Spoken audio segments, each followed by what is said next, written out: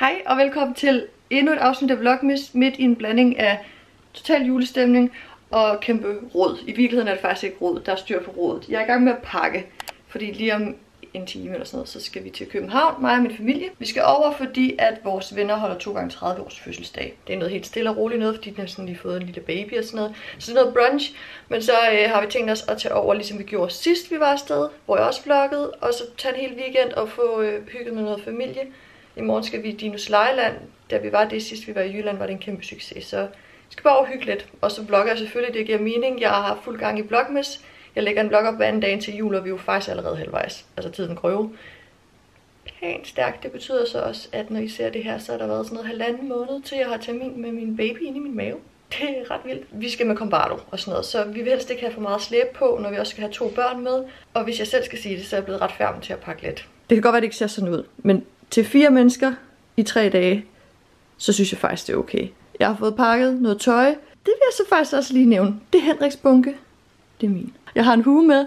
Så har jeg to kjoler at vælge mellem til fødselsdagen. Det er fordi, jeg ikke aner, hvad jeg kan passe med min gravide mave. Og en ekstra trøje, det er det. Og så selvfølgelig undertøj og sådan noget. Tøj til børnene. Så har de jo, øh, de får adventspakker øh, af mine forældres nisse. Og øh, de får så både lørdag og søndag. Så jeg har taget lørdagspakken med, sådan så at de kan åbne den derovre.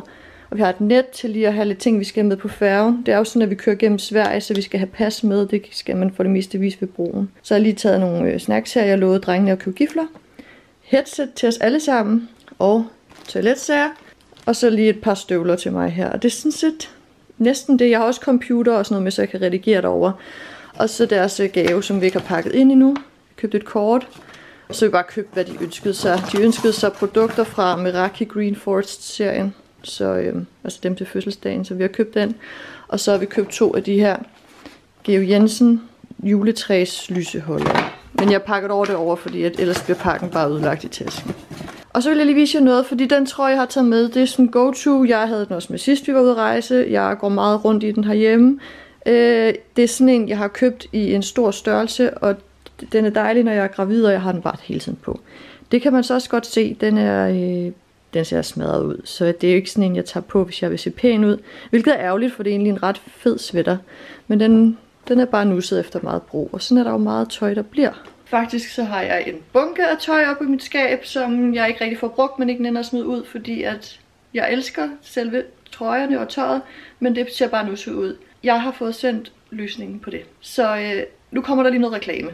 For jeg har fået sponsoreret og betalt den her video af Fabric Tools Copenhagen. De har sendt mig en elektronisk fnugfjerner, er det faktisk basically.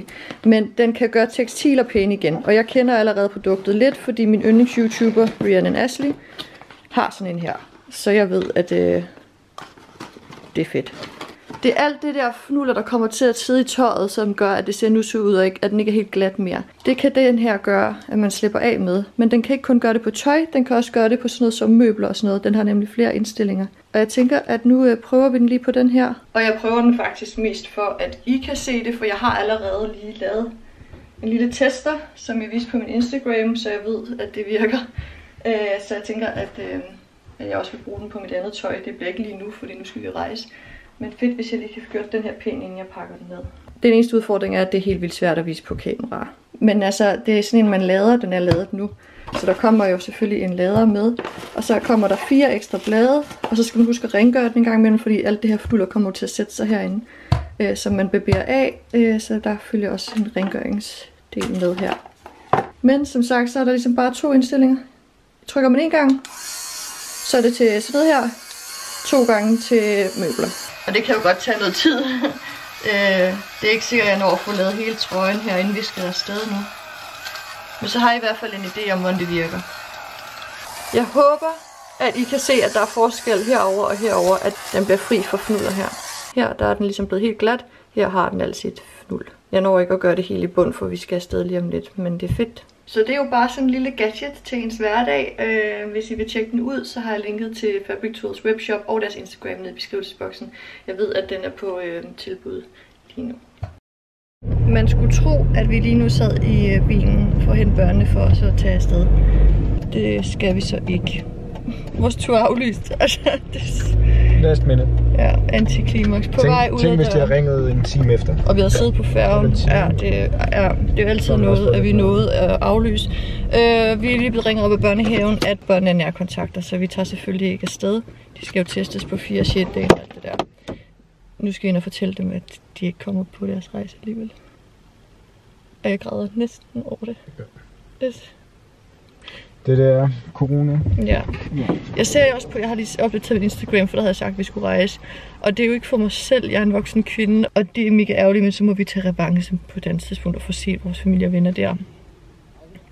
Øh, det er tanken om, at mine børn bliver skuffet. De har glædet sig i måneder til den her tur, ikke? Vi skulle i lejland og sådan noget, så jeg håber, at vi kan gøre et eller andet for at gøre det rigtig hyggeligt på en anden måde derhjemme.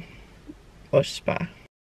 Vi er hjemme, og øh, tror, der er okay stor på situationen. Drengene sidder og leger. Øh, David han tog det meget pænt. Adam blev meget ked af det, men det er nok også fordi han kunne mærke, at jeg blev ked af det. Men øh, det virker som om, at øh, det er okay. Vi har talt om, at øh, en masse ting skal lege, og vi holder et pyjamas-party. Og nu er jeg lige inde for at se, om jeg kan få refunderet vores billetter. Nu får vi lige øh, vaniljekranse af det her flotte glas, som drengene har lavet til os i adventsgave. Og så har vi lavet en indkøbsseddel, der er hjemmelavet burger på, og nuggets, og franske hotdogs, og snacks, og slik, og flæskesteg til på søndag, og ren hygge, ikke? Mm. Vi har besøgt min mor i vinduet. Deres nisse havde hørt, at vi ikke kom til København, så nu kom den lige med en pakke, vi kunne hygge med. En bog, vi kan læse. En julebog. Julegrisen hedder den. Skal vi læse den i dag? Ja. Okay, vi klipper lige til total morgenfjæs her. For jeg tænkte, jeg skulle filme lidt videre i dag, når nu vores planer blev ændret i går. Og vi er lige stået op. Så øh, ja, der skete ikke meget mere i går. Vi lavede mad og spiste slik og sov alle sammen i underetagen og slappede bare af og hyggede os. Og øh, nu øh, prøver vi bare at få endnu en hyggedag. Det er ikke fordi, vi kan så meget. Muligvis går vi lige ud og får noget frisk luft i gården, men øh, ellers så er vi bare hjemme. Det er boys, der lavet mad. Nå, okay.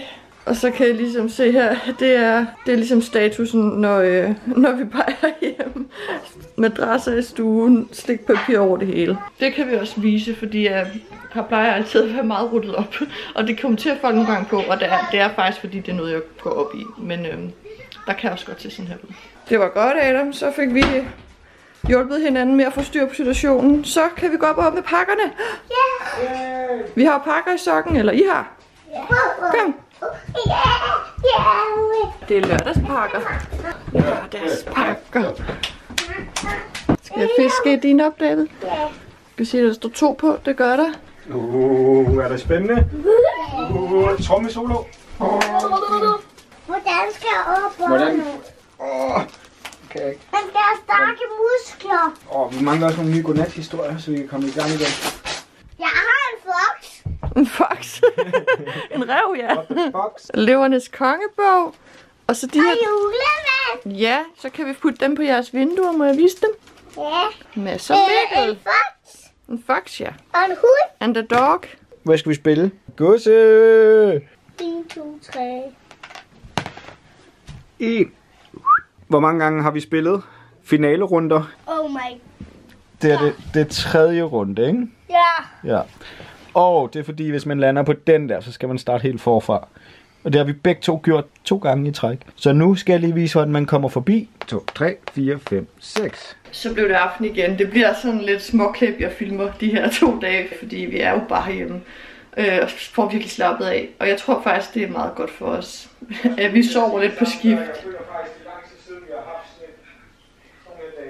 Henrik siger, at det er lang tid siden, vi har haft sådan en her weekend, eller nogle dage generelt, hvor vi bare slappet af. Det opdager man, når man så slapper af, hvor travlt man har haft. Så det er faktisk godt at få lavet op. Og så kom øh, mor mor, mor fra lige i vinduet igen, fordi de havde bagt pebernødder. Så var der lige nogen til os. Men jeg tror faktisk bare afslutter videoen, fordi vi kommer bare til at sove og se tegnefilm og slappe af resten af aftenen også. Men tusind tak, fordi I kiggede med. Jeg tænker, at jeg filmer en ny vlogmas i morgen, hvor det er advent. Øhm, fordi der har vi snakket om, at vi skulle bage havregrønskugler og lave lidt julehygge, og Henrik vil lave flæskesteg. Så jeg håber, at I har lyst til at fortsætte at kigge ned i julekalenderen, og så øh, må I bare have det godt til ses. Hej hej!